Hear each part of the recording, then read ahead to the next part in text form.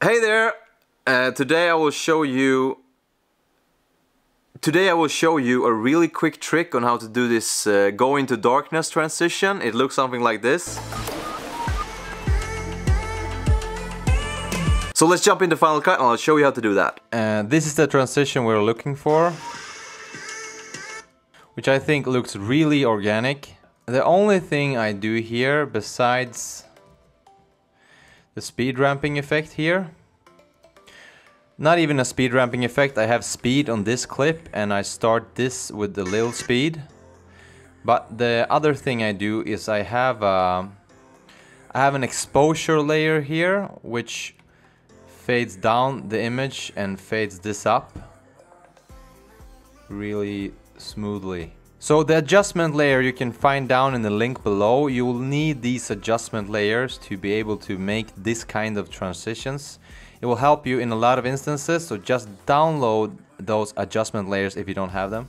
What you will need then is, so I will just take these two clips, I will copy them over here to replicate the effect.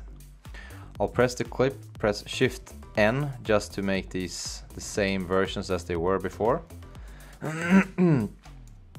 and when I have this clip here, it goes into a quite a quite of a dark place.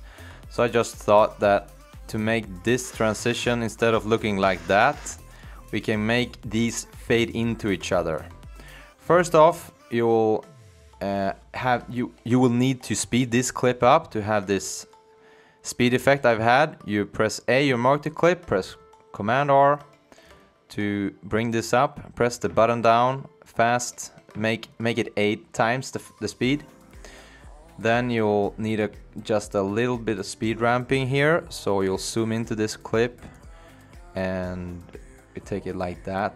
I press A. I mark it where I want the speed ramping to begin. I press Shift B.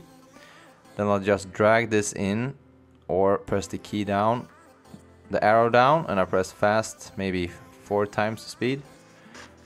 Yeah, that is sufficient. Now we'll lower down this one.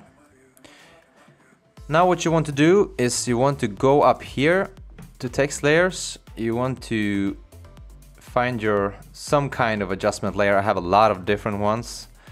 I just use this this adjustment layer from so I bring this down and I will shorten it to maybe make it last about yeah five frames two three four five something like that and I will go I will mark this base layer. I will go up here, press the little triangle icon there. I will press this key down here, press color board, and here you can play around with the exposure level levels. So you will add a keyframe and you want the middle part of this adjustment layer to be pretty blacked out. Something like, uh, not totally blacked out, but maybe something like that. I will go forward, mark it down here, go to the right with the arrows, press there, and I will boost this up to 0%. And I will just go to the beginning of this uh, adjustment layer, and I will also drag this up here. Now you'll have like a little blink there. I would maybe want this to be even a bit longer so it this feels a bit jerky. So I'll drag this out to the right. I will go to the press the key here remove that one and instead add the keyframe over here when you've added a keyframe somewhere along this adjustment layer it will automatically add keyframes to the other parts where you make adjustments.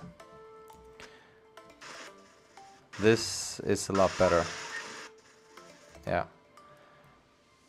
You can just press the speed ramp bar here. So if you press that one there, you will uh, gain access to the part only the speed ramped part in order to make adjustment to the volume just there. Yeah. I think that looks good. So that's the effect guys, that's how you do it. If you found the video to be helpful, please leave a thumbs up. I make these kinds of tutorials every week. Uh, Wednesday, I post them Wednesdays. So if you like them and you think they're helpful, just subscribe and you will get notifications when there is another video out. Okay, thank you.